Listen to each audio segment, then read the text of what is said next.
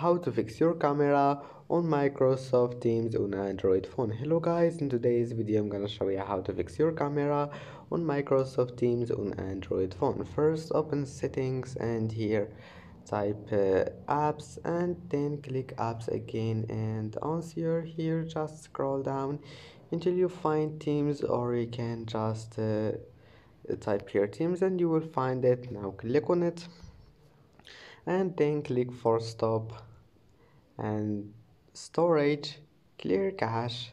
And after that go to permissions make sure you, your camera is allowed and that's it. Now go back and uh, restart your phone and try again. And i hope that can fix your problem. Please don't forget to like and don't forget to subscribe. And thank you for watching this video until the end and see you in the next video